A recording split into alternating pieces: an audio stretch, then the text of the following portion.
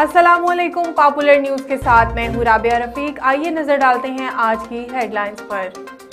خیبر پختونخوا میں پشاور سمیت چانگلہ بونیر اور لوئر دیر میں زلزلے کے جھٹکے محسوس کیے گئے۔ اس کے علاوہ چترال ایپٹ آباد مالا کنڈ اور گردو نما میں بھی زلزلے کے جھٹکے محسوس کیے گئے۔ جبکہ وفاقی دارالحکومت اسلام آباد اور پری سمیت گردو نما میں بھی زلزلے کے جھٹکے محسوس کیے گئے۔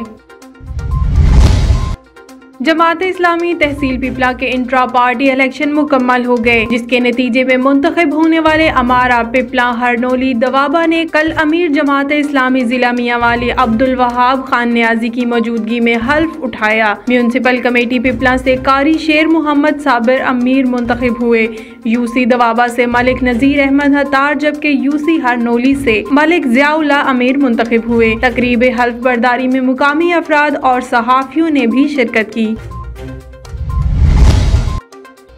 گھوٹکی کے سینئر صحافی پاپولر نیوز کے بیورو چیف رانا محمد اقبال کی والدہ انتقال کر گئی۔ مرحومہ کینسر جیسے موزی مرض میں مبتلا تھی۔ گزشتہ رات جہاں فانی سے کوچ کر گئی۔ آج صبح دس بجے مرحومہ کی نماز جنازہ شہر کے مشاورتی کاؤنسل ہال میں ادا کی گئی۔ قاری محمد عمران نے نماز جنازہ پڑھایا۔ نماز جنازہ میں U C chairman, vice chairman, سیاسی و سماجی تنظیموں کے رہنما، ڈاکٹرز وکلا اساتذہ، صحافی برادری سمیت کثیر تعداد میں شہریوں نے شرکت کی۔ ایس ایس پی جعفر آباد سید علی آصف شاہ کی خصوصی ہدایت پر ایس ایچ او پولیس تھانہ باغ ہیڈ عبد الراؤ جمالی نے دوران ناکہ بندی روپوش ملزم خان محمد کو گرفتار کر لیا۔ ملزم چوری، ڈکیتی کی وارداتوں میں ملوث تھا اور کئی عرصہ سے روپوش تھا۔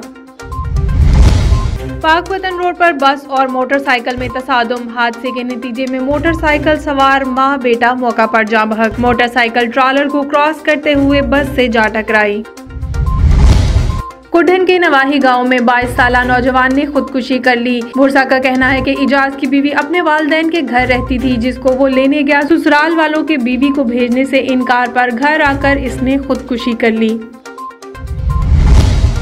احمد برسیال میں قتل کا سنگین واقعہ، داماد نے ساس کو قتل کر دیا۔ نیوز روم سے فی الوقت اتنا ہی، مزید جاننے کے لیے دیکھتے رہیے پاپولر نیوز۔